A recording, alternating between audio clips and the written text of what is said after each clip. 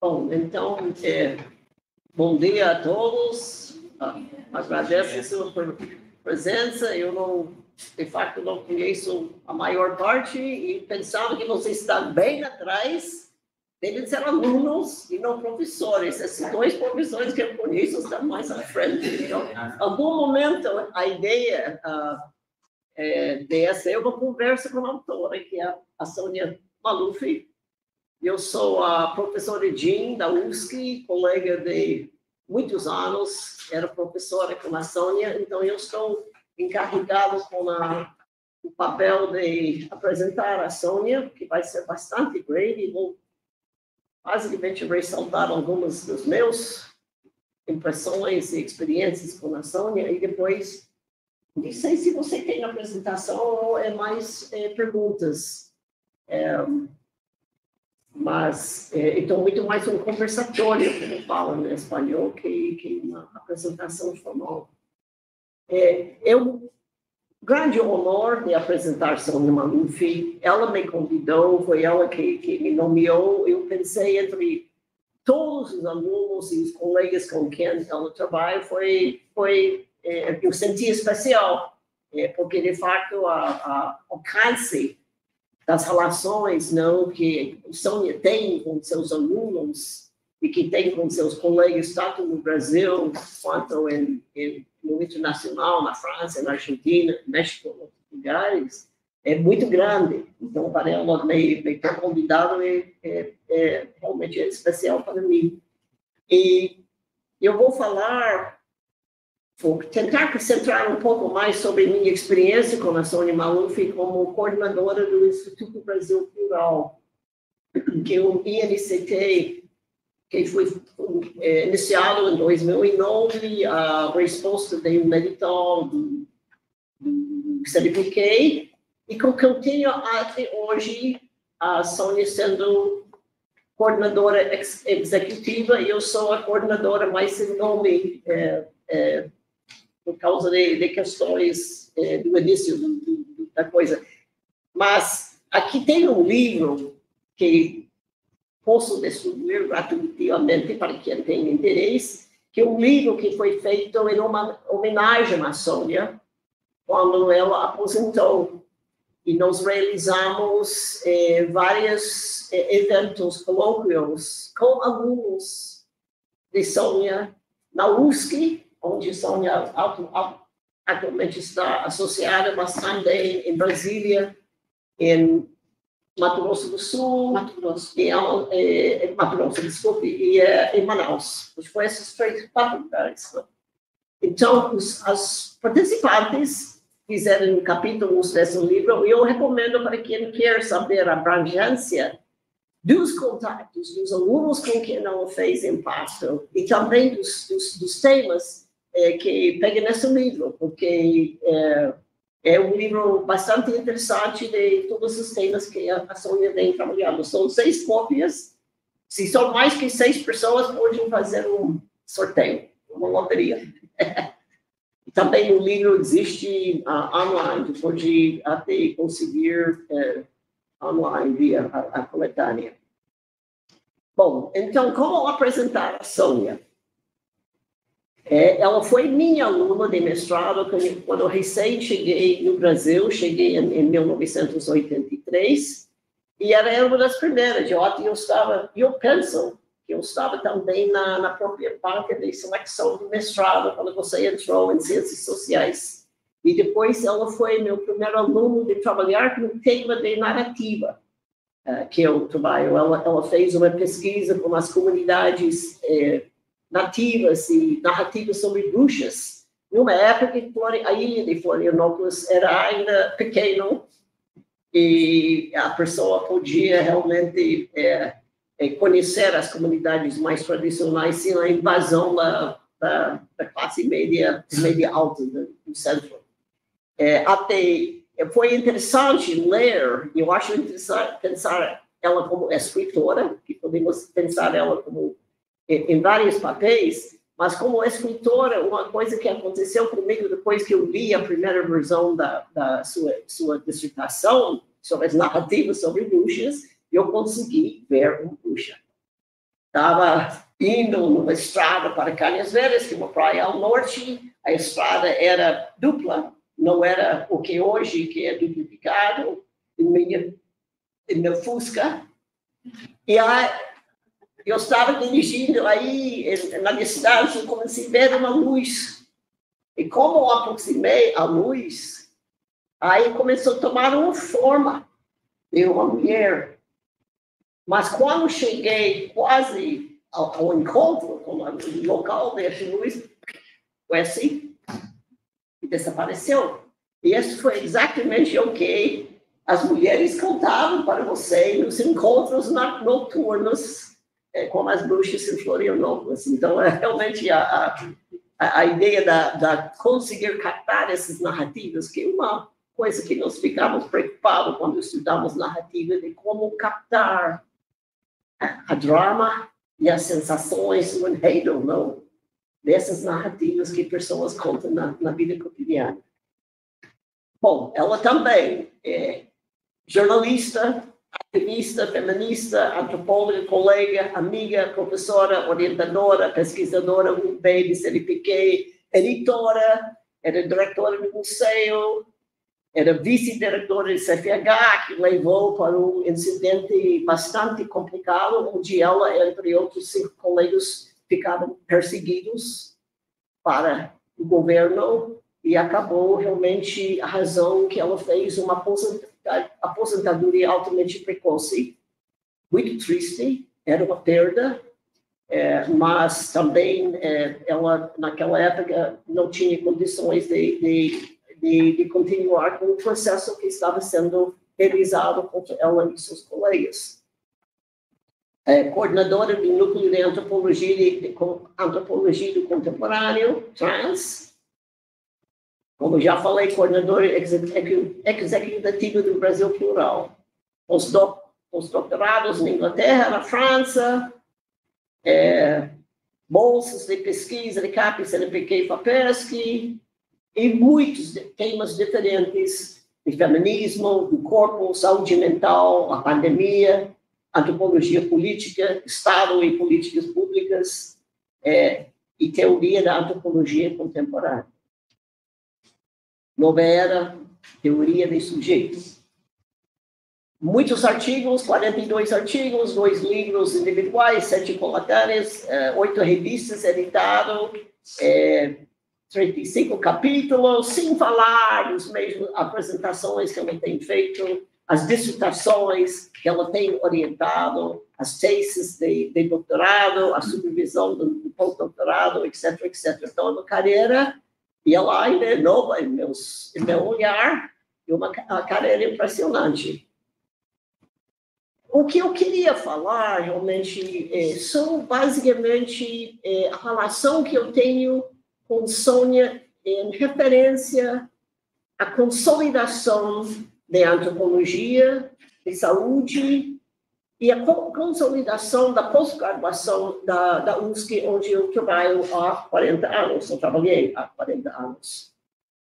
É, eu vi ao Brasil para encontrar uma academia bastante é, inovativa e que me, que me ofereceu a óptica do Sul.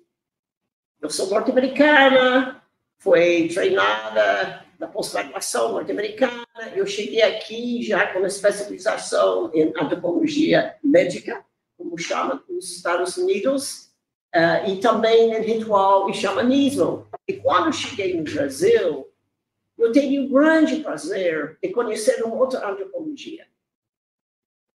Eu conhecer alunos como Sônia me ajudou muito a conhecer esta antropologia. É, porque eu sempre tinha a impressão que a pessoa aprende com seus alunos, não só ensina coisas com seus alunos, mas aprende. Então, a, a, a oportunidade de ser orientadora da Sônia foi uma grande oportunidade para mim. E pensando nesse olhar do Sul, que eu acho a Ampox também é uma representação, cada vez que eu venho para a Ampox e, e, e assistindo, os tópicos que estão sendo discutidos mas também os modelos analíticos que estão sendo utilizados são de um olhar muito especial. Eu acho um olhar, em geral, um olhar ainda brasileiro, e que eu acho que temos que manter, no sentido de não ficar é, engolido não, para, para as, as, teorias de antropologia do norte. E a antropologia de saúde é uma dessas, no sentido que ela fez parte comigo com a consolidação da antropologia de saúde. Não é antropologia médica, e não é antropologia médica, porque de fato é uma antropologia de saúde que está com um olhar mais crítica das políticas públicas e também não inicia com perguntas que a medicina faz, mas inicia com perguntas que um antropólogo vai fazer sobre o campo, a noção de saúde sendo muito maior que o que é definido pela biomedicina. Esta envolve realmente a escuta as comunidades, o ver a autonomia e o protagonismo das pessoas, procurar resolver seus problemas que eles identificam como problemas, não problemas necessariamente identificados pela biomedicina, e que tem uma grande preocupação de realizar pesquisa que seja relevante, que seja relevante para políticas públicas e que também seja relevante para as comunidades que estudamos. E essas, essas são qualidades da, da carreira da Sônia, não? durante toda a sua carreira, realizando pesquisa colaborativa, pesquisa que faz diferença para as comunidades, além de fazer uma contribuição para políticas públicas. Eu queria falar um pouco sobre sua atuação em Brasil Plural, em parte porque o Brasil Plural, que é o Instituto Nacional de Ciência e Tecnologia, é, desde 2019, foi a Sônia que é responsável por a maior parte, não todo, mas para a maior parte da proposta, da nossa primeira proposta, que nos ganhou entre 125, 125 institutos que foram escolhidos no concurso eram três de antropologia. Um que era em Brasília, sobre direitos humanos, um sobre violência, é, e nossa, que era Brasil Plural, sobre a diversidade e a complexidade desse grande país. Né? Ela era ela tem sido coordenadora executiva.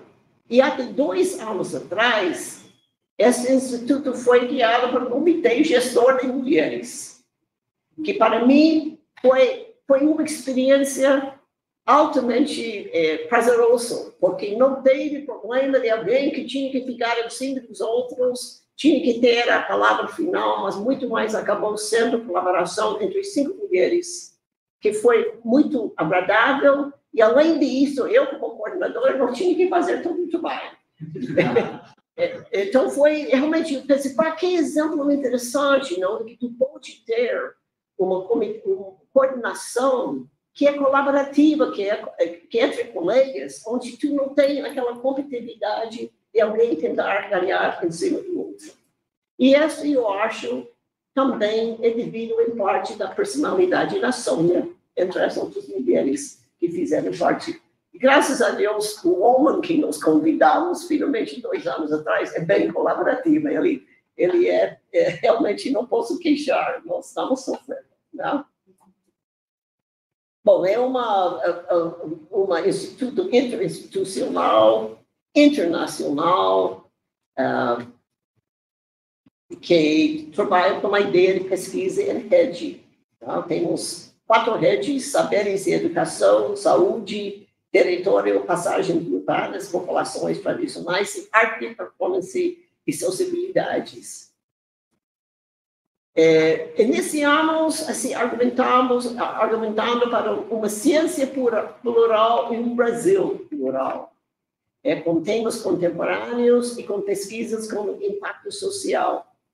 Eu queria só, vou fechar um pouco é, a minha apresentação, só falando de alguns pontos que nossa autora aqui, escreveu quando ela fez a novo projeto para nossa continuação em 2014 e 15.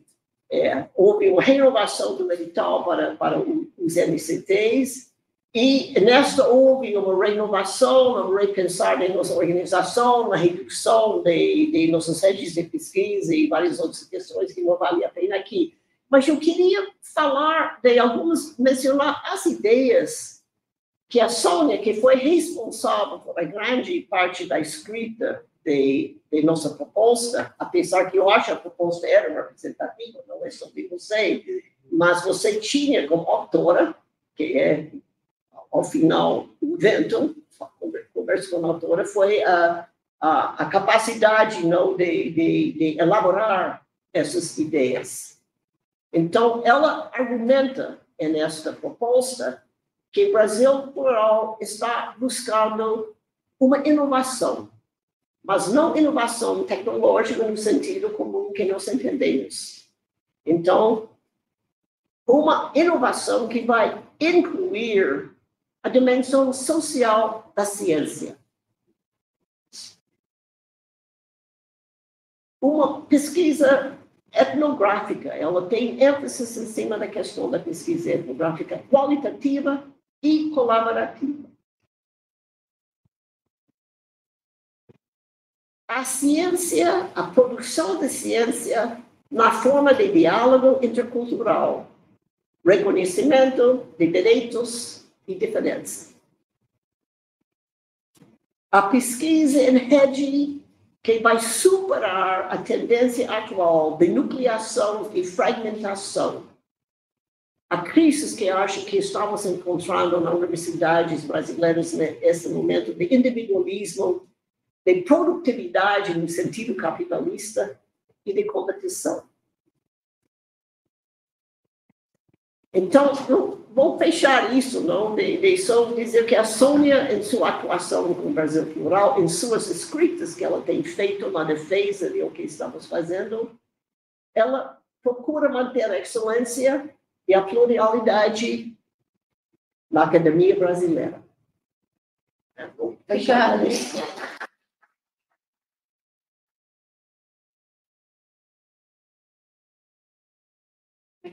E aí não sei como funciona.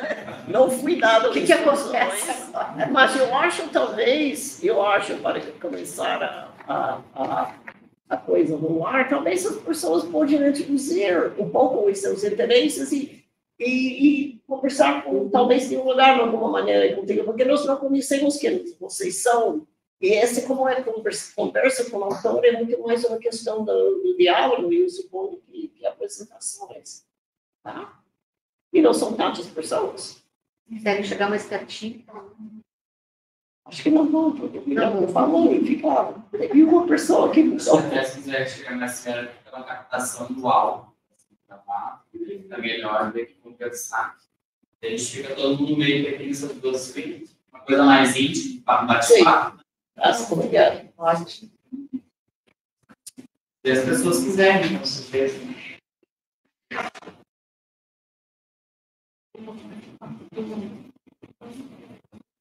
Vou começar, né, para não ficar sem isso. Eu sou Alberto Marques, eu sou é, é, Fiz doutorado com Marco Antônio Gonçalves, no FIX, da FRJ, e em 2011, né? Eu estudei com eletrônico e, e, trabalho no Ceará, trabalho no PPGS na UES, no estado do Ceará, e na Universidade Regional do Cariri, encontrei já algumas vezes, porque tem uma, uma confluência aí uh, sobre a questão da performance. E é, Talvez seja uma, uma boa questão para a gente conversar, porque, enfim, dentro, né, dentro dos campos que você já colaborou enormemente, é, eu, eu, vou, eu, não vou falar sobre eles, tá? mas eu vou falar sobre um artigo. Quando, é, é nessa época, 2011, né, no início dos anos 2000, a gente estava passando por uma enorme transformação na antropologia teórica, né, que tinha a ver com a, com, com a tradução todos os verbos, é, enfim, é, que, né, um momento muito difícil que a gente tinha que né, se, se, se locomover no campo e repensar as coisas que a gente tinha pensado. É, você escreveu em seguida, eu acho que tudo talvez de, de um pós-doutorado que você tenha feito, um artigo assim incrível sobre a questão da subjetividade, né? E, e, e, naquele momento também as pessoas começaram a, a, a pensar, no caso do Macron Gonçalves, sobre a etnogeografia, sobre essa relação entre indivíduo e sociedade de uma forma não tradicional, né? Como vem fazendo. É, esse artigo me ajudou enormemente, né? Eu faço etnobiografia atualmente, é o meu método, né? Assim, do coração, assim, com mais tempo, né? Ser, ser atento a ele. E eu queria te ouvir um pouco de, é, é, sobre os bastidores desse artigo, assim, sobre as duas escolhas, né? Porque é um artigo muito eficiente e, e assim, ele não tenta ser panorâmico, mas ao mesmo tempo, naquele momento, uma chave de leitura é, que ficou assim, uma grande colaboração, eu acho, do campo da gente. Obrigada. Roberto. Roberto. Roberto. Posso falar? Não sei se eu posso falar. tá bom. Não, primeiro eu queria agradecer muito a Dina, agradecer a todo mundo que está aqui, fico super feliz de encontrar as colegas, alunos, estudantes, enfim. É um momento muito legal para mim. Fiquei muito surpresa quando a diretoria da Fox convidou para esse momento, não esperava mesmo. E agradecer a Jean pela fala, muito generosa, que o Brasil Plural é, é um projeto coletivo. Né? E a Jean é uma pessoa muito importante na minha formação antropológica, porque eu vim jornalismo e fui fazer mestrado, formei na URGS, em Porto Alegre, fazer mestrado na em Santa Catarina, e a Jean foi minha orientadora, minha professora. A primeira disciplina de gênero que eu fiz foi com a Jean, em 1985. Foi a primeira disciplina da UFSC sobre o tema, né? Papéis sexuais e a questão da mulher, naquela época. Então, foi muito legal. E, e foi o trabalho de narrativas, e a Jean me deu a chave, que eu ia a campo e ouvia aquelas narrativas, e aquelas narrativas, e a Jean na pegada da saúde e das benzedeiras, lembra? Uh, trabalhar com as benzedeiras, enfim, eu ouvia falar das benzedeiras, mas eu só vinha com aquelas histórias de bruxaria. Aí a Jean, vou te dar um livro, emprestou o On Narrative, que é uma coletânea de trabalhos sobre teoria da narrativa, e mais alguns textos. Quando eu li, parece que se abriu assim o mundo. Né? E eu acho que esse é o papel da, da orientação também, é conseguir colocar as chaves nas fechaduras certas para a gente, né? E a gente, os nossos orientantes também. E foi aí que eu fiz um trabalho, acho que foi um dos primeiros no Brasil, sobre antropologia da narrativa, sobre a, defendi em 89, e realmente ali abriu um caminho que veio até hoje. Né? Não trabalho especificamente só com antropologia da narrativa, mas a narrativa está presente nas minhas escutas e na minha forma de escrever também. Então, só tenho a agradecer a Jean por isso também, por essa, uh, enfim, companhia na jornada, né? A gente, a gente passa, assim, 30, quem está já com um certo tempo de estrada, né? 20, 30, quase 40 anos é, na universidade, então a gente tem os, ah, os companheiros de, de viagem, né? Alguns mais próximos, alguns mais distantes, mas são nossos companheiros de viagem, que estão aqui com a gente, que a gente conhece desde novinhos e vai envelhecendo junto com, com eles, né? Eu aqui, nossos colegas da antropologia da, da e da antropologia no Brasil em geral. E, bom, em relação a esse artigo, que imagino que seja por uma antropologia do sujeito, né, que saiu na revista Campus, da, da FPR, eu levei, eu sou muito autocrítica, assim. Eu não consigo escrever. Agora eu estou mais assim, eu escrevo, leio, releio, deixo um pouquinho na gaveta, releio e publico. Apesar de mim mesma, que esse artigo, praticamente eu levei 10 anos para escrever e para publicar. Ele é um artigo simples, é um artigo acessível, é um artigo... Mas ele levou 10 anos. Ele começou com um GT que a gente organizou na, na, na aba de Gramado, eu e a Elsa Lagru, né? trabalha com etimologia ameríndia, companheira do Marco Antônio, é, sobre pessoa e corporalidade, diálogos entre, entre etimologia ameríndia e antropologia urbana. Era isso, né? Enfim, a Elsa engravidou, não conseguiu ir, né? E eu toquei junto, toquei aquele GT, e a ideia era justamente fazer esse debate. Aí eu apresentei um esbocinho de reflexão, pensando no, qual, qual a, potencialidade do debate sobre pessoa e antropologia da pessoa no contemporâneo, em diálogo com todas as teorias do sujeito, com todas as rasuras do sujeito que vieram acontecendo desde a crítica feminista nos anos da antropologia feminista, lá da metade dos anos 70 para cá, a crítica pós-decolonial, enfim. E a partir daí eu fui trabalhando essa literatura. Eu dei em 98 uma disciplina chamada Antropologia da Pessoa, depois virou Antropologia do Sujeito, Teoria do Sujeito. E é interessante que hoje eu dou uma disciplina chamada Seminários Avançados de Teoria Antropológica 2, que é uma obrigatória do nosso doutorado, lá na UFSC, e eu estou enfatizando teoria do sujeito com eles. E a gente começa lá com a pessoa. Moço, Levi Leonard, né? Dumont, e aí vem trazendo essa, digamos, essa. Não gosto da palavra linhagem, mas vem trazendo essa, esse itinerário aí do debate dentro da, das ciências sociais e da antropologia, especificamente, e aí vou introduzindo os cortes das teorias críticas, do pensamento crítico contemporâneo, principalmente feminismo, a teoria feminista, que é formadora de tudo que eu faço. Né? Eu, antes de virar antropóloga, eu, eu fiz jornalismo na URGS, e, nesse período na URGS, nos anos, eu entrei em 78, eu fui daquelas alunas que quase fui jubilada, levei sete anos para me formar, eu comecei a trabalhar no primeiro ano de curso, como jornalista já.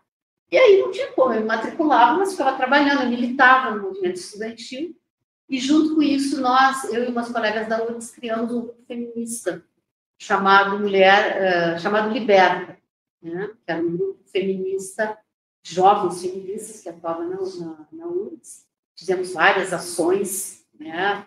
bem fortes, entre elas a entrada feminina na moradia estudantil, enfim. Então, foi ali que eu li, inclusive, A Mulher, a Cultura e a Sociedade, foi um dos primeiros livros de antropologia feminista traduzidos no Brasil, a tradução foi em 79, e eu li quando eu não era antropóloga e nem fazia antropologia ainda, eu era militante feminista. Né? A jovem feminista, a gente pegava livros para vender, para conseguir alguma grana, e um desses livros era esse, eu li, li achei legal, depois voltei para essa literatura com a Jean, e ali a teoria feminista começou a, a me formar intelectualmente também. Quando eu me deparei com toda essa literatura de, de, de antropologia da pessoa e com a crítica feminista do sujeito, eu falei assim, não, tem algo interessante de ser feito aí. Mas levou muitos anos. Eu passei por dois pós-doutorados, né? E foi ali que eu terminei o artigo, apresentei ele em muitos fóruns, em muitos momentos, né? E finalmente publiquei em 2013. E fui banhada por isso, né? Fui banhada e é interessante que eu tenho um pouco essa, essa, esse método, vamos dizer assim, toda disciplina que eu dou, eu tento, eu tento dar uma parte clássica, e aí eu já faço um exercício de leitura contrapelo dos clássicos. O que, que significa isso? Sair um pouco da ideia de escola, tentar entender esses clássicos com uma potência um pouco diferente. Que aí os alunos também têm que ler de uma maneira um pouco diferente, não é só transmissão da teoria, mas é também produzir uma crítica da teoria. Então, bom, escola sociológica, representações sociais, mas será que não tem algumas pinceladas fenomenológicas ali? Será que não tem algumas pinceladas de experiência, a discussão de corpo, a discussão de pessoa, para além das representações sociais? Então, a gente vai trabalhando um pouco com isso, e é um pouco isso que eu faço no texto. E tem uma primeira parte, que é um diálogo meu com Caimboz, Dumont, uh, Levi Bru, Lenard, né, Maurice Lenard, enfim. E aí, a partir dali, eu tenho uma segunda parte, que é o contemporâneo, crítica contemporânea, e como essa crítica contemporânea incide, pode incidir sobre uma nova leitura desses clássicos. É um pouco isso que eu faço com o artigo. Né? Eu tento uh, trabalhar o clássico no contemporâneo e trago a discussão principalmente da teoria feminista. Se eu fosse atualizar esse texto hoje, eu traria, traria bastante de Foucault também, e traria um debate atual hoje, que é o debate que seria um sujeito neoliberal. Claro que isso vai resvalar para uma discussão de saúde mental. Não tem como. Né? Não tem como trabalhar com subjetividades contemporâneas e esse sujeito empresa, esse sujeito dono de si mesmo, né? esse sujeito capital humano, que precisa agregar valor o tempo inteiro para ter algum valor, né? não é um valor só do humano, mas é um valor agregado nesse humano, humano como commodity, que precisa ter valor agregado, necessariamente trabalharia com questões de saúde mental e de. Não saúde mental no sentido reificado, mas tra trabalharia com a ideia do sofrimento, da dor, do, da perturbação, do desarranjo, do, enfim, daquilo que incomoda, daquilo que, de alguma maneira, coloca as pessoas em estado de, de sofrimento. Né? Então, esse seria o, é, digamos, na continuação da minha produção daquele momento, é o que eu estou trabalhando hoje. A gente está organizando agora um livro é, que sai de vários projetos de pesquisa, de vários GPs da ABA, da RAM e da ALA, né? Que é, que é uma Políticas do Sofrimento.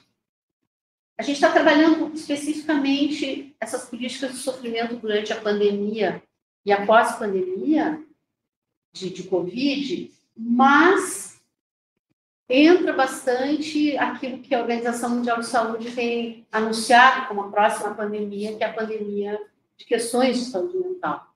Né? Especificamente depressão, questões de suicídio, mas outras questões que vêm agregadas a isso. Né? Então é isso, eu tenho trabalhado um pouco essa, essa ideia de pensar o sujeito como um, um conceito importante para pensar uma antropologia do contemporâneo. Mas esse sujeito, como conceito, é um conceito já, como dizia o, o Stuart Hall lendo Derrida, sob rasura. O Stuart Hall está tá falando do conceito de identidade. Ele pergunta: quem precisa de identidade? Identidade ainda é um conceito útil, né? Ele diz: é, desde que a gente entenda que ele está rasurado. A gente precisa trazer a história crítica dele, né? É assim que eu trabalho com o conceito de sujeito. É um conceito rasurado pela teoria feminista, pela teoria pós-decolonial, que já a partir dos anos 70 disse o quê? Que esse sujeito ele, é, ele tinha gênero, raça, uh, procedência geográfica, então era um homem cis, branco, europeu, eurocentrado, hétero, normativo, enfim. Então, essa foi a crítica, porque a crítica feminista decolonial, pós-colonial, LGBTQIA+, enfim, queer, né, trouxe. Então, trabalhar o conceito de sujeito hoje é trabalhar a potência de uma contingência, mas trazendo a crítica né? que é um pouco que o Foucault vai, vai discutindo quando ele fala do sujeito poder naquela entrevista dele, né? já mais alguma coisa, e é o que a própria Butler traz no Fundamentos Contingentes, quando ela fala do sujeito não como um fundamento ontológico da teoria, que se a gente ontologiza o sujeito é óbvio que a ontologia, como resultado do trabalho de ontologização da modernidade europeia, vai trazer um sujeito específico, que é aquele que a gente conhece, é o sujeito hegemônico, né? Mas se a gente pensa no sujeito como, como fundamento contingente, ou seja, um fundamento que está permanentemente sob crivo do debate, sobre o crivo da experiência no mundo, o plano da imanência mesmo, mas também o plano da, da, da crítica teórica, ele é um fundamento contingente, ele é útil, ele é necessário. Né? Como falar de política sem falar de subjetividade, de sujeitos, de ação, de agência? Então, é um pouco por aí conjunto de questões que, digamos, o devido desse artigo acabou me levando, né? Não sei se respondo, mas obrigada pela trazer esse retorno. A gente escreve, publica, não sabe muito para onde que as coisas vão, né? Depois disso.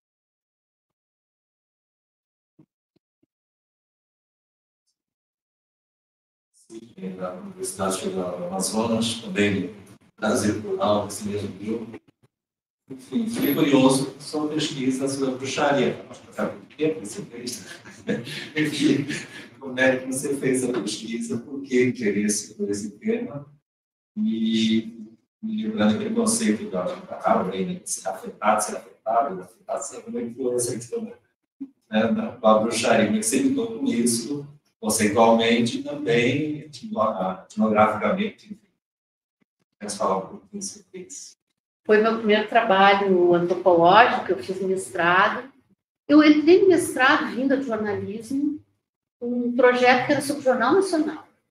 Eu vinha da comunicação. Quando eu fiz a disciplina da DIN, sobre papéis sexuais e a questão da mulher, em 85, eu fiz como trabalho final um trabalho com uma benzedeira que morava na costa da Lagoa, que é uma comunidade da, da Lagoa da Conceição, em Florianópolis, que só dá para chegar até hoje, ou por trilha, 8 quilômetros, todo mundo convidado a fazer uma trilha lá, indo, ou por barco. E aí eu fui de barco até a Lagoa da Conceição, conheci a benzedeira, entrevistei e fiz como trabalho de final da disciplina esse trabalho sobre bruxas e poder feminino, né, alguma coisa assim. E aí, junto com isso, que me ajudou, que me levou a fazer esse trabalho, que eu morava no canto da lagoa, na beira da lagoa, uma casinha de pescadores que tinha alugado, e as crianças, tinha uma escola do lado, e as crianças da escola me pediram autorização para brincar no pátio da minha casa. E eu autorizei. Eu não sabia que isso ia significar quando eu autorizei. Todos os recreios, as crianças inteiras da escola iam para o pátio da minha casa para minha varanda. Então, às vezes, eu estava lá de biquíni, lendo livro, e entrava uma criançada, e aí começaram a trazer histórias de bruxas. No começo eu não entendia nem o que eles diziam, que é uma fala muito específica, muito rápida, cheia de expressões. Começaram a trazer essa narrativa. Disse, ah, você tem bruxa aqui? Disse, não, que bruxa? Ah, bruxa isso aqui, e subo sangue das crianças, e ataques pescadores, e começaram a trazer aquelas narrativas, e aí eu juntei com a pesquisa da DIN, fiz o trabalho, e aí mudei o projeto e fiz a minha pesquisa. Naquela época, o doutorado era em quatro anos, né? não eram dois, eram quatro. O mestrado eram quatro anos tinha uma bolsa, só que no segundo ano eu passei no concurso, comecei a dar aula, então aí também complicou um pouco, complicou, complicou bastante, mas eu fiz uma pesquisa que durou quase três anos de campo. Começou no canto da Lagoa, eu também uh, fui para a costa, fui para a Ponta das Almas, vivi algumas experiências semelhantes a que a Di contou, né, que eu não coloquei na dissertação, porque naquela época eu não não estava em questão colocar a experiência subjetiva da pessoa, né? Uh, mas vivi umas experiências interessantes, depois eu posso contar. E aí, o que, que aconteceu? Eram muitas narrativas, muitas narrativas, só que elas, elas tinham alguns núcleos dramáticos semelhantes. A ideia da, da canoa do pescador, que era que, que pescador que chegava de manhã para pegar seu barco, e tinha restos de areia, planta, flor. E ele não entendia, porque tinha deixado a canoa limpinha no, no rancho. Ou narrativas de, de crianças que adoeciam, não mamavam, pareciam com manchas roxas, né? E o que, que, que, que era o desfecho? Eram bruxas que ou embuchavam a criança, porque entravam na casa na forma de algum animal noturno, um malvador noturno, uma, uma borboleta, enfim. Ou, no caso do pescador, mulheres que se transformavam em bruxas, pegavam a embarcação e iam para longe. O longe variava. O longe podia ser a Barra da Lagoa, que é um, uma comunidade que tem do outro lado da Lagoa da Conceição, ou podia ser a Índia. Então foi até a Índia. E aí voltava para força, só existem na Índia. Né? Então, era mulher que. Aí eu comecei, mas quem eram essas mulheres? Qualquer mulher da comunidade pode virar bruxa. Ela não sabe que vira bruxa. Ou seja, não era uma bruxaria, um bruxamento, não era um ato consciente como tal. Era algo que tinha em todas as mulheres da comunidade e ela explodiu. E aí eu comecei a interpretar. Eu usei um pouco Turner para falar do drama social, usei bastante a ideia do drama social do Turner, que é a quebra da ordem, a desordem, mas eu trabalhei muito com a análise estrutural da, da narrativa, pegando o próprio Vladimir Prop, que é o fundamento da discussão que eles trouxe sobre narrativa e sobre estrutura da narrativa, né? O Prop vai falar em 23 funções da narrativa de infância, né? O Todorov, que vai falar, reduzir também essas funções. Então, eu usei um pouco da análise estrutural, usei o Turner e reduzi um conjunto de histórias a alguns dramas específicos. E esses dramas, e aí a pergunta, o que falam esses dramas? Eles falam de um poder feminino não reconhecido nos modelos formais da comunidade de autoridade, os modelos de autoridade, que eram modelos de autoridade masculina. Pai, o homem, é ele que decide, é ele que manda. Então havia uma autoridade masculina e poderes femininos de mulheres. Então, um pouco isso, uma dissertação. E saiu em livro, em 93, chama Encontros Noturnos, Bruxas e Bruxarias na Lagoa da Conceição. Você tem uma presença portuguesa também. Sim, a Soriana, portuguesa. Talvez tenha um pouco desse imaginário que veio de lá. Né? Veio, sim. Eu tenho um capítulo do livro, da, da dissertação, que é uma comparação morfológica, usando Ginsburg, né, é, com a bruxaria europeia. Então, eu uso muito os andarilhos do bem, do Ginsburg, um, um pouco do Queijos Velhos para discutir cultura popular e circulação, e comparo, uso muita literatura sobre a bruxaria medieval, porque as narrativas, e a Laura de Nery Souza sobre a bruxaria colonial, ela tem umas narrativas também, que as narrativas são muito similares. Elas são similares e trazem a sugar o sangue. Então, eu faço uma comparação não no sentido difusionista, de que veio de lá, eu prefiro fazer uma comparação mais morfológica, mas tem muito a ver. E a minha teoria é que permaneceu na ilha, por quê? Porque essas narrativas não têm a figura do diabo. As que eu recolhi, diferente do Cascais, que é um folclorista local, e aí tem toda uma motivação para ele falar do diabo. Mas nas que eu recolhi não tem a figura do diabo.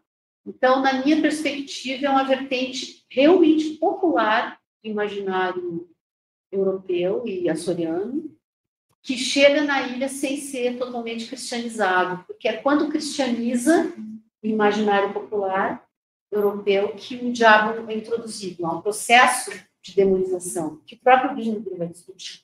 E no caso dessas narrativas não tinha figura do diabo. Então, é um pouco por aí que eu, que eu tenho discutido.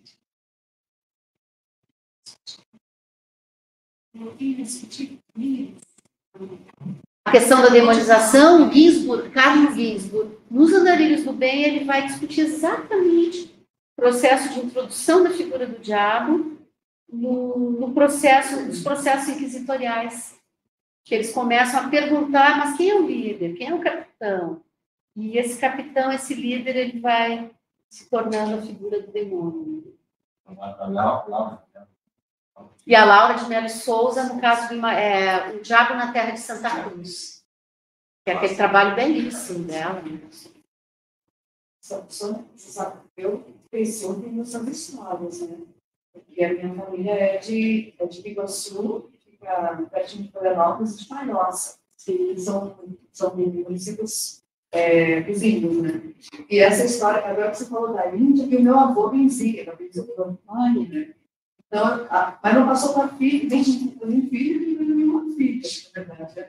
E só que agora, lembrando, a minha mãe bom, até hoje, minha mãe está com 87 anos, mas quando ela conta, agora você falou que ia ter essa coisa do muito distante, menos distante, essa coisa da Índia, e eu lembro que a mãe, a mãe conta isso, né, que tinha uma apresentatura que começava, a porta da Índia voltada para o Oriente. Olha. Então, tudo que você está falando, eu não lembro do nada. da história da, da- de casa, da mãe mesmo, e das histórias que minha mãe, meu pai, meus avós contavam mesmo. Não só dessa região que é na ilha, mas dessa outra região que é na- no continente, né? Das pedras, das canoas, isso tudo foi tudo muito presente assim, na minha infância, até hoje, assim, né? A mãe sempre volta a falar disso. Mas, desculpa, só peguei um ganchinho ali dessa coisa mais que lembra, isso que é muito interessante, né? É, só para. Meu nome é Roseli, né, sou do Porto, sou professora da, da FRN, em Natal. Fui, sim, estudei né, na, na fui orientada pela professora Minha Grossa, onde é, me, me, me formei em discurso de gênero, né, e também fui muito para antropologia da saúde, graças à professora Jean, que foi minha professora, foi uma das pessoas assim, que realmente fizeram parte da minha vida, que me, foi uma disciplina muito importante para mim, né? que me direcionou, porque eu sempre estudei a questão saúde reprodutiva, do aborto, e aí a questão da saúde depois ali me veio assim, muito, mas especialmente depois que eu terminei a tese doutorado. É, eu conheci que a gente amadurece muito, né? É, quando a gente termina é, um curso. E a Sônia, acho que a gente fez uma relação, né? Depois também, com as parcerias, a questão da saúde, é, essa parte da subjetividade da pessoa, é, esses últimos trabalhos que a gente tem feito e que tem chamado muita atenção agora, não só na coisa da Covid, né, que a gente começou a fazer algumas coisas é, juntos, e de longe, assim, mas assim, né, ser nas leituras e nos eventos, mas aproveitar para puxar esse ganchinho da saúde mental, já que a gente não pode conversar e repetir, e que é algo que tem efetivamente aparecido diariamente no nosso dia a dia, né? na questão da. Teve uma, uma, uma mesa que a gente fez na sexta-feira, foi sobre é, justamente saúde mental e pós-graduação. Né? Inclusive, vou chamar a graduação, né? Também. E sobre pós-graduação. E o professor Alexandre, é Unicamp, ele trouxe assim, dados, a gente já estava sabendo, mas ele trouxe dados realmente muito preocupantes, definitivamente muito preocupantes. E a gente tem vivido muito isso no dia a dia, né? Falamos da pós, da graduação, eh, em relação à academia, depressão, academia, a questão da, da eh, pânico. Na sala de aula, não, estou falando dos alunos e, e das alunas, não só das ciências sociais, da biologia, mas estou falando também a gente dá aula para nutrição, para enfermagem, para fisioterapia, e não há um curso desses que não tem alguém que tenha alguma coisa que você tenha que auxiliar, efetivamente auxiliar. E agora surgiram os casos de autismo, TDAH, adulto, adulto né? Muito. E, e claro, professores também, né? e, e a questão do suicídio, né? Isso muito tá? ou as tentativas de suicídio, na verdade, a gente tem acompanhado também, pelo Brasil afora, assim, né? Eu queria que falasse um pouquinho, né, dessa relação, você estava trazendo a tua linha, questão de subjetividade, questão do jeito, toda essa perspectiva que você traz teórica, né, e queria que você falasse um pouquinho mais sobre essa parte da saúde mental, que, sem querer, também a gente acaba, pelo trabalho de campo que a gente tem realizado em relação às questões do Covid, né, do Covid, e da, da própria, da, da saúde produtiva das, das, de todas as pessoas, né? É, isso também tem que discutir. Principalmente, né? Já, a gente sabe que já havia a pandemia, mas parece que depois da pandemia isso efetivamente se, é, se, se, se materializou um pouco mais, né? E na questão da juventude, que a gente tem percebido, eu boto também falo, será que a juventude começou a separar com a juventude? Desespero, sabe? Aquela coisa da, da, da, pandemia, de repente, que a a gente começa. Como é que a gente pensa, né? Ah, vou ficar velho, vou ficar. Aquela coisa do pensamento evolutivo, sempre. A gente tem muito esse pensamento evolutivo. Será que esse corte no ovo não sei? Eu queria te ouvir um pouquinho. E você, falou uma coisa específica, mas eu queria te ouvir um pouquinho mais sobre a questão da saúde. Legal, obrigada, Roseli. Tenho adorado a nossa parceria. A gente está em duas redes sobre impactos sociais da pandemia, né? temos trocado mesas e encontros. E, então, eu, nos últimos anos, acho que desde 2006, eu tenho trabalhado com a questão da saúde mental.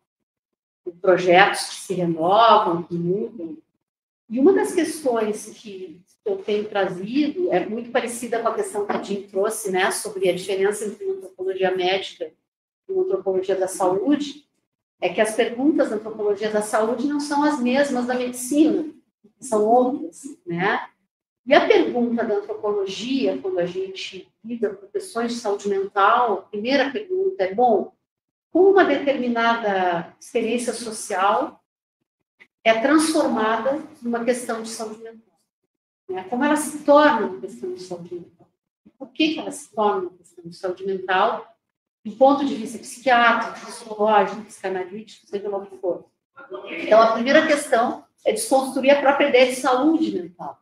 Né? Eu falo bastante em saúde mental, mas eu falo também com todas as rasuras necessárias, porque não necessariamente uma experiência, uma determinada experiência de sofrimento, por exemplo, ela só porque ela significa, só porque ela é de sofrimento ou de perturbação, ela significa que seja de saúde mental ou entre na grade de saúde mental. Então a primeira pergunta é essa: como uma determinada experiência se desloca ou é capturada por essa grade chamada saúde mental? Essa é uma primeira questão. A outra é que o que a gente começa a observar no, no contemporâneo é que há um reconhecimento, quando a, quando a Organização Mundial de Saúde diz assim, não, a próxima pandemia vai ser uma pandemia de questões de saúde mental. A, a, a, a Organização Mundial diz isso, ela está reconhecendo que é uma questão coletiva global, né? A depressão, mas todos os modos de atacar, de, de enfrentar, estão dentro de uma grade que é individualista. Ou seja, se reconhece a dimensão social de um problema, saúde, própria pandemia, mas o modo de atacar individualista. O que significa isso? É dentro daquele, daquela chave sintoma, diagnóstico, tratamento, que eu até coloco entre com, um MIFER, né, um, um sistema, sintoma, diagnóstico, tratamento sintoma individual, diagnóstico sintoma, ou seja, as reações anormais das pessoas, aí entra uma discussão de normalidade, que são as normalidades e as anormalidades também, né? A pessoa que fica muito sozinha, que não fala, que chora, que tem uma crise na hora de chegar no trabalho, que são os pânicos laborais, né? A gente viu, viu muito isso no nosso, na nossa pesquisa com as mulheres de comunidades periféricas de Florianópolis, que contavam que quando chegavam, muitas trabalhando como é, ou terceirizadas, faxineiras mulheres da limpeza terceirizadas, ou como domé empregadas domésticas, muitas contavam que chegavam perto do trabalho tinham um ataque de pânico, não conseguiam entrar no trabalho, né? que é o pânico laboral. E aí elas contavam situações de abuso no trabalho, de exploração, tripla, dupla, tripla, quádrupla jornada de trabalho para conseguir sustentar uma família, velhos filhos, enfim. Então, por parte da biomedicina, da psiquiatria, das áreas psis, há um reconhecimento de que existe uma dimensão social, coletiva, no entanto, os modos de enfrentamento são biomédicos ou biopsicomédicos e individuais. E sistematicamente, o que, a gente observa? Não funciona. É que nem na pandemia. Né? Eu falei muito na pandemia sobre como enfrentar uma pandemia sem levar em consideração as dimensões sociais, coletivas, são duas coisas diferentes, depois eu posso falar um pouco sobre isso, leva invariavelmente aquilo que vários antropólogos da, das epidemias têm dito, que é o fracasso no enfrentamento às epidemias, ao ebola, ao HIV/AIDS, com a pandemia, foi a última pandemia que a gente teve antes da, da pandemia de Covid, e agora a Covid. Né? Fomos bem. Ah, não, mas a vacina venceu. Sim, a vacina venceu depois de quase 7 milhões de mortos no planeta e no Brasil. O Brasil foi campeão em algum momento, né? Então, como assim vencemos? Né? E já há novas pandemias sendo anunciadas, novas epidemias. Então, essa é uma questão que eu tenho trazido. E no caso da saúde mental, é, enquanto não se reconhecer que esses sofrimentos são sociais e que nem uma política individualista de, dentro do sistema diagnóstico, é, sintoma diagnóstico tratamento, nem uma política humanitária na perspectiva de, bom, vamos dar a esses sujeitos, ou seja, que objetificam o sujeito alvo, né? como muitas políticas humanitaristas fazem, vão resolver. Então, qual é a questão que a gente traz? A primeira é pensar em formas uh, mais dialógicas, vamos dizer assim, de enfrentamento e de entendimento que sejam esses problemas. Eu vou dar um exemplo muito pontual.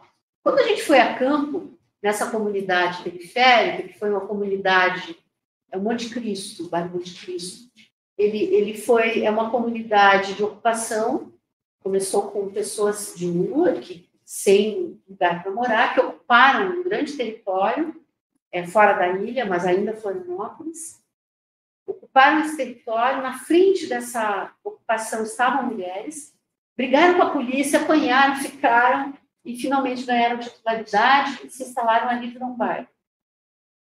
Quando a gente chegou para fazer a pesquisa, a equipe, né? A Ana Paula Miller, a Carmen Suzana Torres, a, a Marina Monteiro.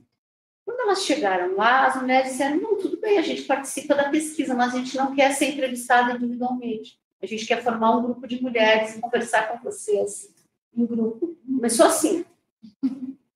Gente, tudo bem? Aí elas trouxeram agora, o que, que a gente faz? Não, vamos lá, vamos formar um grupo. Aí se formou esse grupo, que se reunia sistematicamente, e ali elas trouxeram a experiência da militância, a saudade da época da, da ocupação, porque ali elas tinham voz. Isso é muito similar a Mulheres Sem Terra também, que falam da saudade da época da ocupação.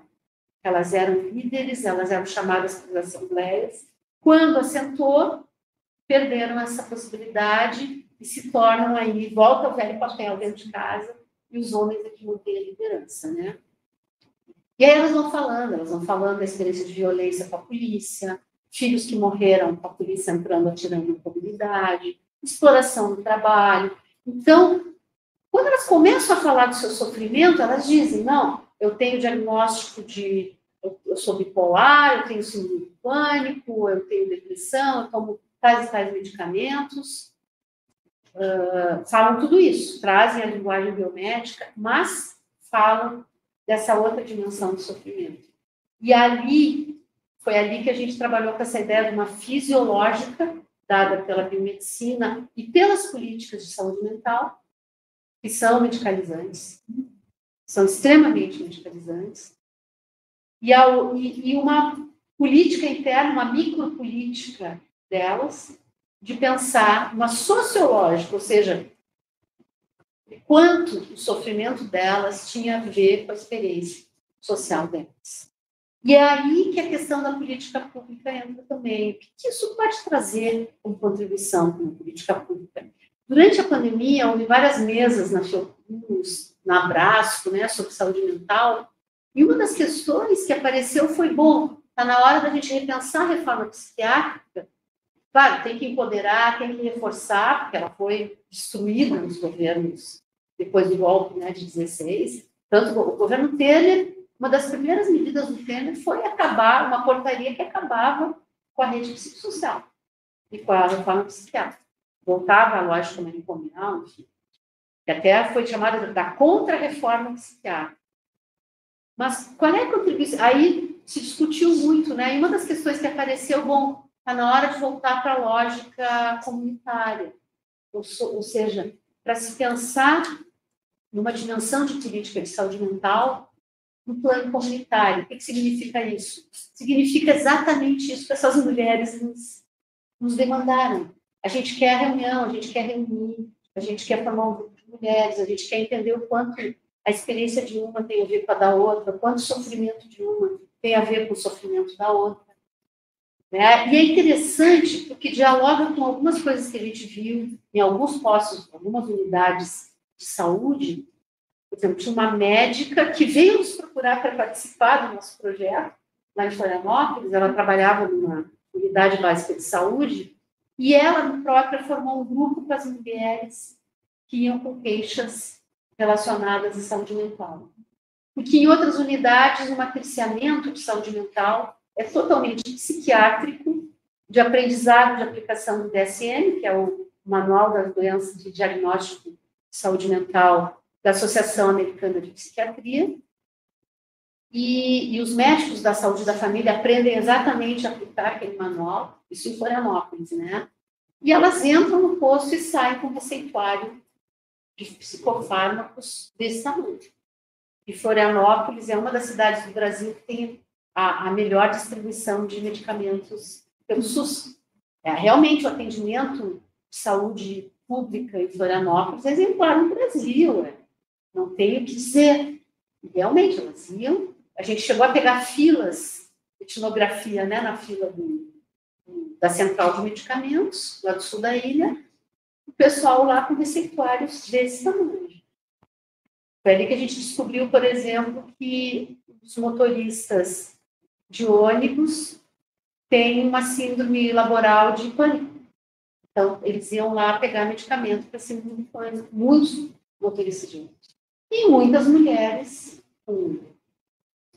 mulheres assim com uma idade, vamos dizer assim, entre menopausa e pós-menopausa, já com filhos, né? Então, essa, chega no posto de saúde com uma idade ali, próxima da menopausa, ou, já na menopausa, vai sair com esse receituário grande. Então, assim, é um pouco por aí que a gente tem trabalhado, a gente tem cutucado um pouco gestores. É muito difícil, é muito difícil ser ouvido. A gente teve uma experiência no grupo de desinstitucionalização da saúde mental do Estado de Santa Catarina, que era um grupo da Secretaria de Saúde. Participei alguns anos desse grupo, a Ana Paula participou também. A gente era as antropólogas e as cientistas sociais do grupo. Era muito difícil, mesmo pessoas que defendiam a, a luta antimanicomial, defendiam a reforma psiquiátrica, era difícil, porque a gente ouvia de psiquiatras o seguinte: não, eu também uso etnografia nas minhas pesquisas, ou seja, a gente não precisa de antropólogo, eu uso etnografia. Né? Psiquiatra falando, ou então, não, vocês não têm condições de aplicar o censo da saúde mental, só psiquiatra. O censo da saúde mental era um, um questionário de mais de quase 150 questões aplicado aos pacientes. Eles queriam que a gente aplicasse com os funcionários da saúde dos, dos manicômios. Então, assim, é realmente uma grande. É, é um trabalho quase muito ponta de faca, sabe? Lidar com, com a tentativa desse diálogo interdisciplinar com as áreas do campo da saúde mental é muito difícil. A gente consegue fazer esse diálogo um pouco com a assistência social, um pouco com a psicologia coletiva, é, psicologia social. A partir dali, o diálogo se fecha, porque aí a, a visão é a visão sintoma diagnóstico tratamento e, e acabou, não tem muito mais o que fazer.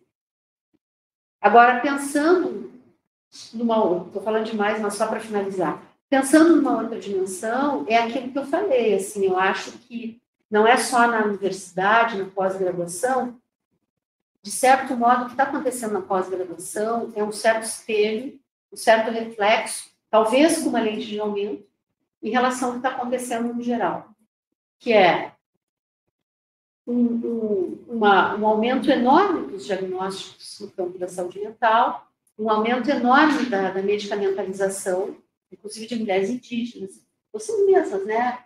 Capturaram isso, mulheres camponesas, mulheres periféricas, onde o SUS vai, né? Isso está acontecendo.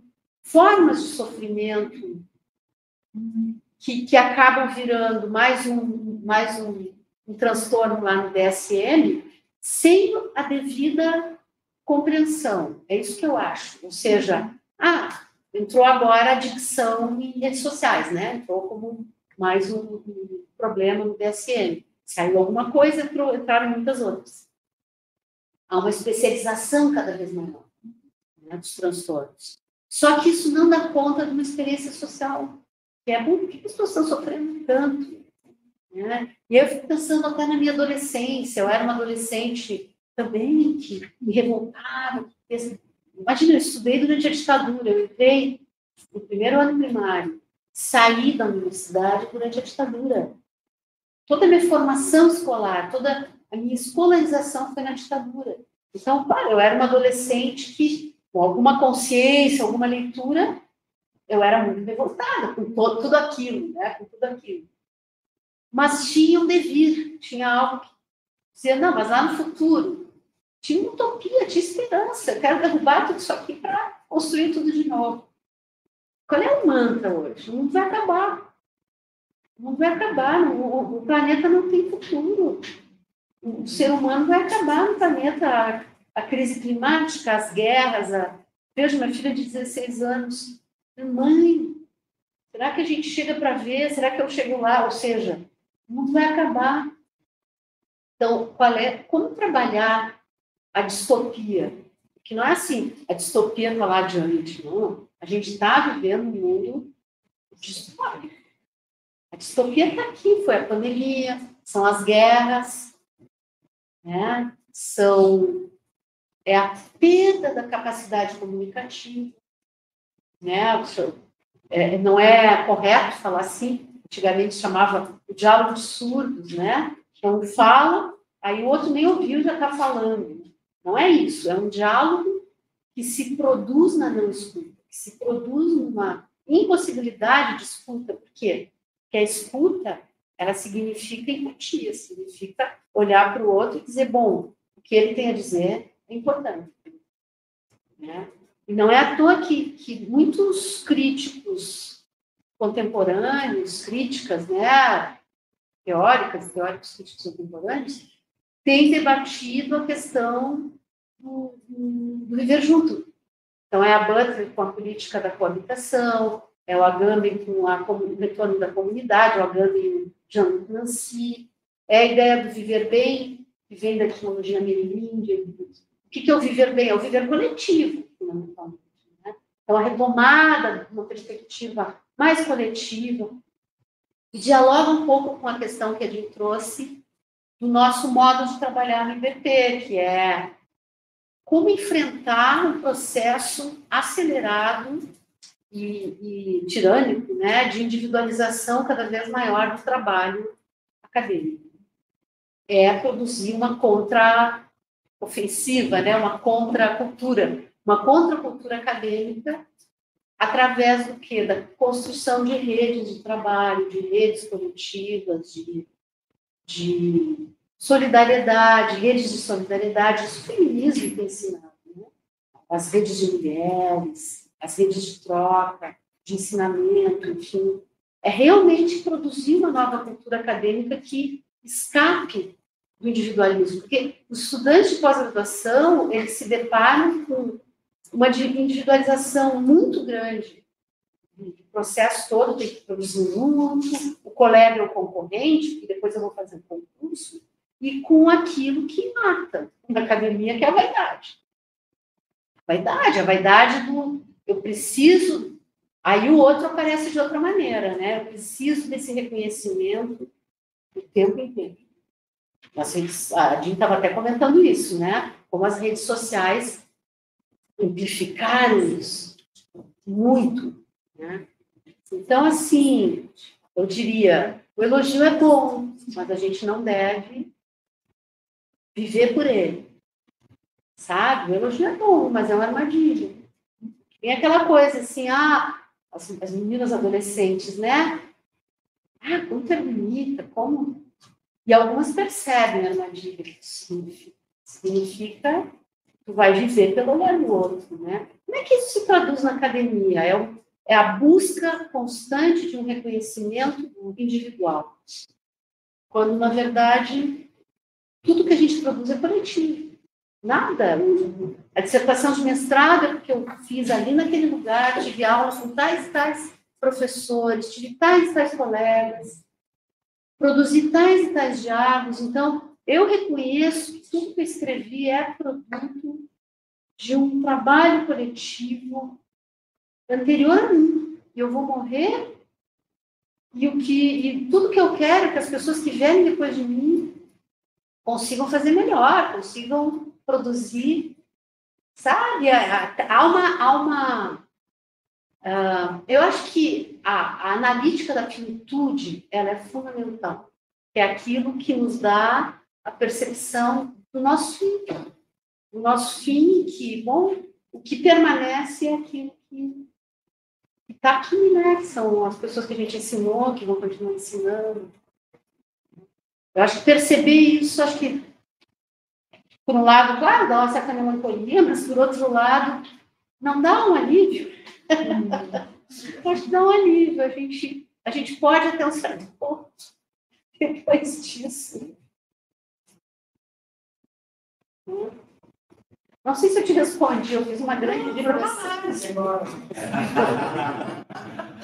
Eu amei que a gente se sente assim, ah, não estou sozinha. Nesse, nesse mundo acadêmico é bastante ah, que a gente tenta levar e pensar e incluir as pessoas na, nessa coletividade, né? E quanto a gente, né? A gente vai os estudantes quanto é difícil para mim, por exemplo, né? estava na UFSC, é, quando eu entrei, não, não imaginava que eu fazer uma graduação. Eu trabalhava o tempo todo, durante o dia, estudava à noite.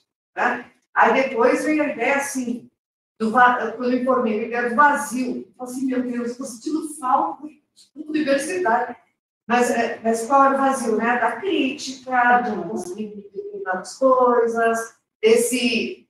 Você falou do ponto que foi sobre é, o assédio moral no trabalho.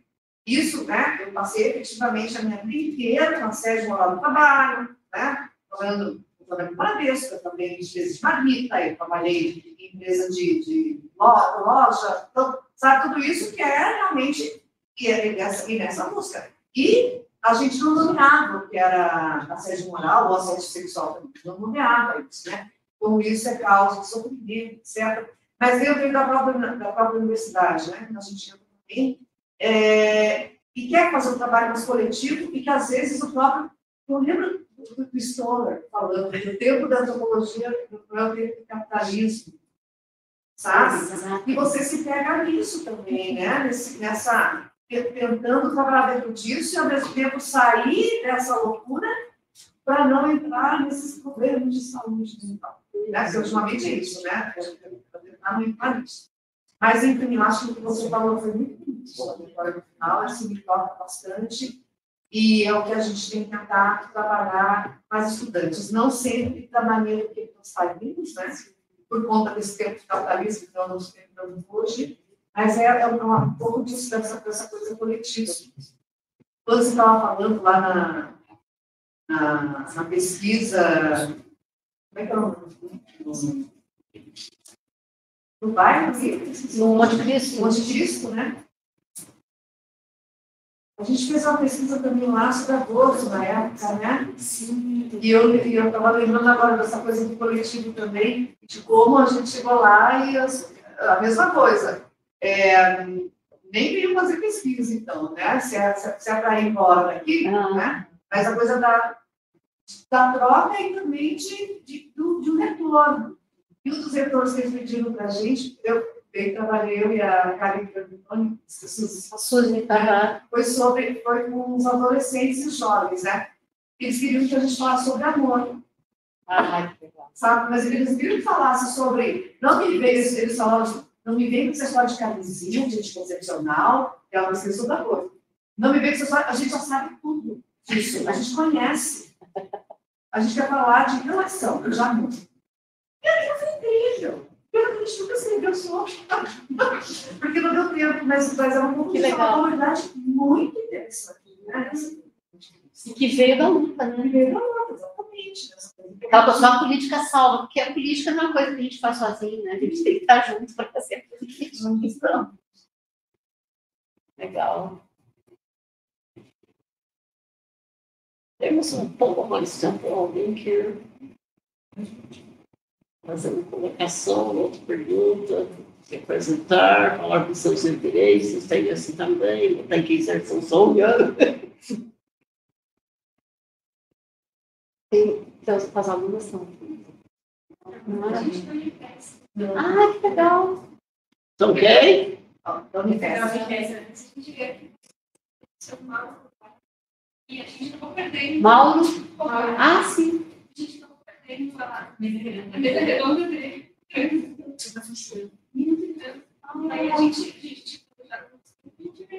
Então, bem-vindas.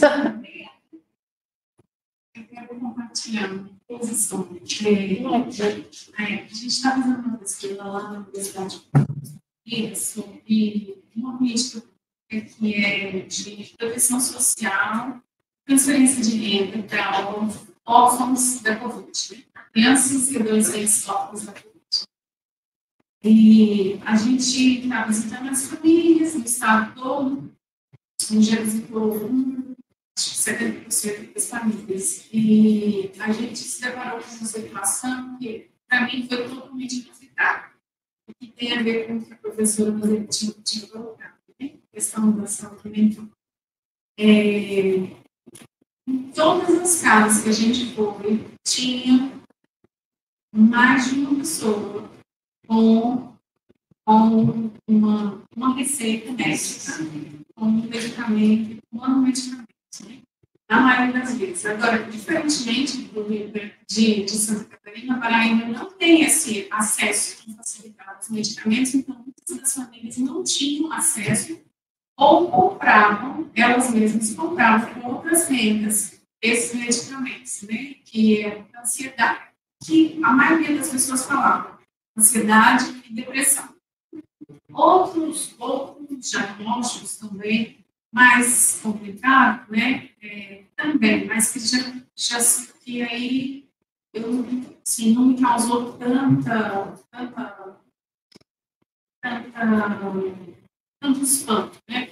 Porque já era esperado. Eu acho que já, eu já esperava. Mas encontrar em todas as caras de diagnóstico de, de depressão e de, e de ansiedade, não, parte não só das crianças, mas também dos adultos dos dois, dos dois campos, mas as crianças, a maioria, e os adultos também. Isso não era alguma coisa que a gente tinha previsto no escopo da, da, da pesquisa, e a gente está trazendo isso, a gente vai levar essa, essa pesquisa para o governo do Estado, né? Existem programas parecidos em, todo, em todos os exceto dois estados do Nordeste, vários deles, né? E há uma há um plano de federalização desse programa de acolhimento, de acolhimento de distribuição de renda e proteção das crianças órfãs da Covid.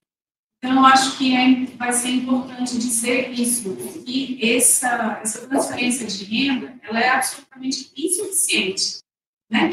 E, e, e a política só parte desse princípio, né, de que a transferência de renda vai suprir aquele ente que morreu, o pai ou a mãe, ou o responsável que morreu, a renda dele vai ser provida pelo Estado.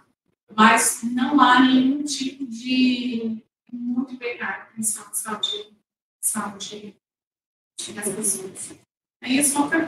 E eles têm algum tipo de relação com o CAPSI, por exemplo, ou não? Então, são cidades que essas crianças e adolescentes estão espalhadas no estado. Então, algumas cidades maiores, como João Pessoa do Rio Grande, tem uma série, tem algum tipo de. É, todos têm CRAS, né? E, mas nem todos os lugares têm um médico específico, ou, muito menos é, psicólogo, muito menos uma equipe interdisciplinar. Assim. Todo tem, na verdade, tem João Pessoa do Rio Grande apenas é um especialista psiquiatra. Nas cidades do interior, nem tem, não tem nem psiquiatra, tem o médico geral, tem o geral, e que, que prescreve e diagnostica esses. Exatamente.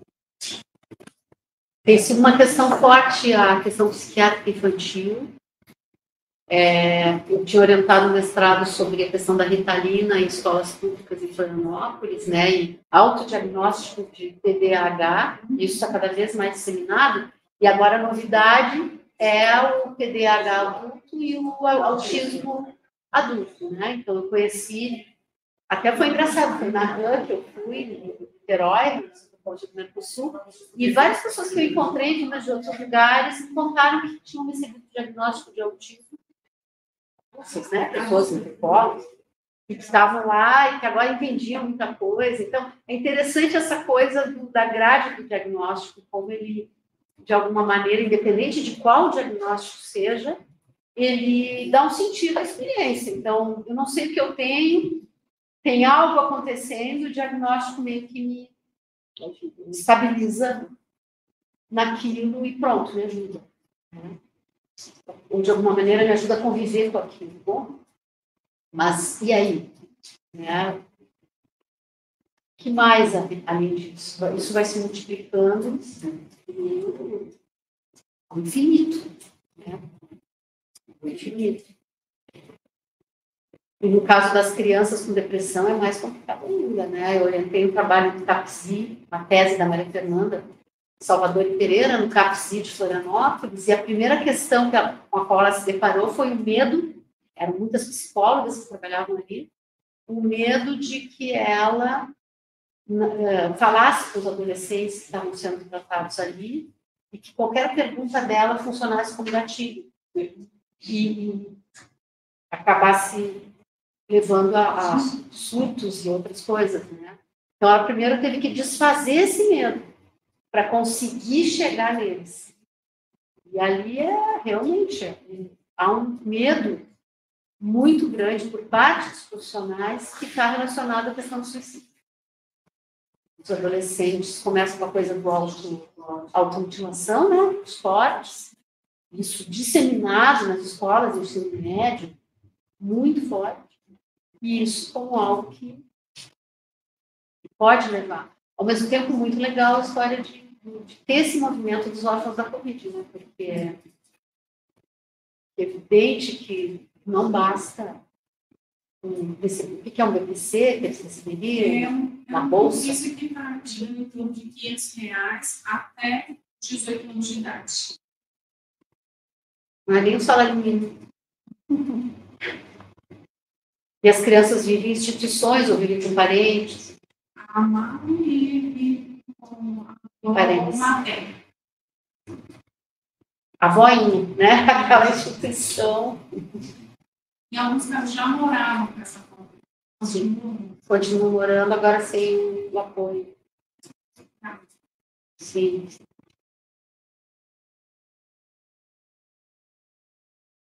Bom, Chegamos, chegamos a hora. Olha, tem um começo, um livro para alguém que está querendo. Falei, eu não preciso levar de volta. não quer ficar? Claro, Claro, ficar. Não ia fazer um sorteio?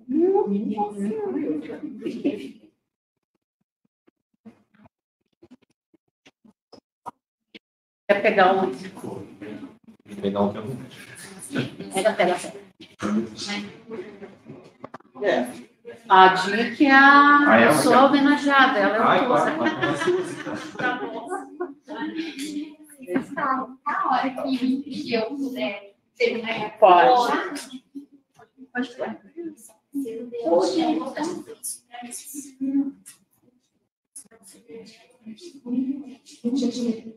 esse balão vermelho aqui, tá? Que eu não enxergo, né? Sim. Vou parar. É. Não, quando é concluir, sim.